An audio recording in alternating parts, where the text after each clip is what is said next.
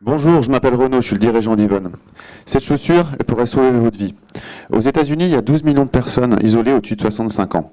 Une toutes les 11 secondes tombe et une toutes les 20 minutes, malheureusement, meurt. C'est pour ça qu'on a créé Yvonne.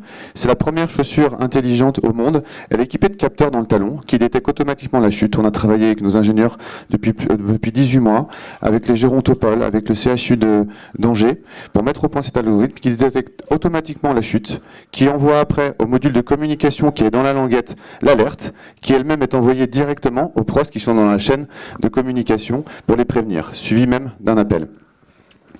Euh, on est euh, très fiers d'avoir eu un, CES Award dans la catégorie euh, Tech for Good.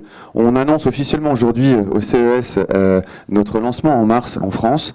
Nous avons des ambitions en fait internationales en Europe et bien entendu aux USA qui est un gros marché. Et par ailleurs, le lien avec l'industrie est évident puisqu'on produit tout cela en France, nos usines de chaussures, et on fait la même offre sur la partie de travailleurs isolés, donc dans l'industrie. Donc n'hésitez pas à venir nous voir dans le, euh, à Eureka Park, euh, dans le salon, euh, à la French Tech, et on répondra à toutes, à toutes vos questions. Merci beaucoup, au revoir.